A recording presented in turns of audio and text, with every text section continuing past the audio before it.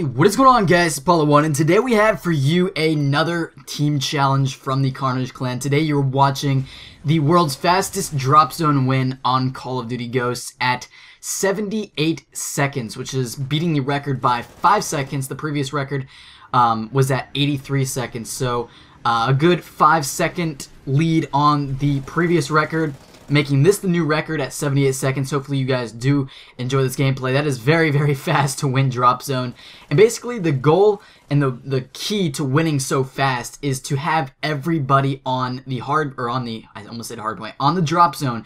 Because every guy that you have on the Drop Zone is adding 20 points to the score every second. So that's pretty cool uh, if you're looking to win drop zones fast. That's how you do it. It's not just 20 points every second for anybody that's on it. It's for every person that's on it, if you didn't know that. Uh, but yeah, hopefully you guys do enjoy this gameplay. All the Karnage guys that were in this game, uh, their links will all be down in the description. And here in a second, I'm going to let you hear the reaction. Make sure to hit that like button if you did enjoy. Follow us on Twitter if you don't already.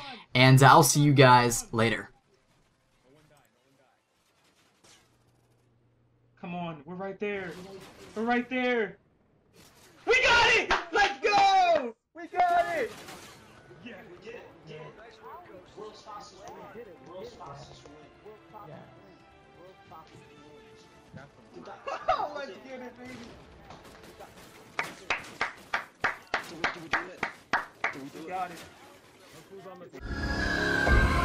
Okay, let's go. Uh. Can't nobody talk stuff like carnage.